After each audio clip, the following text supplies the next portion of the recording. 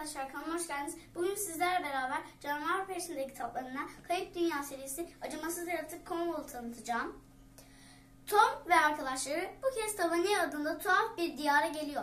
Büyücü Marvel'in kötü büyüsü altı canavarı ait oldukları topraklardan koparıp buraya atmış durumda. Tom bu öfkeli canavarları geri gönderip dengeyi sağlamak zorunda.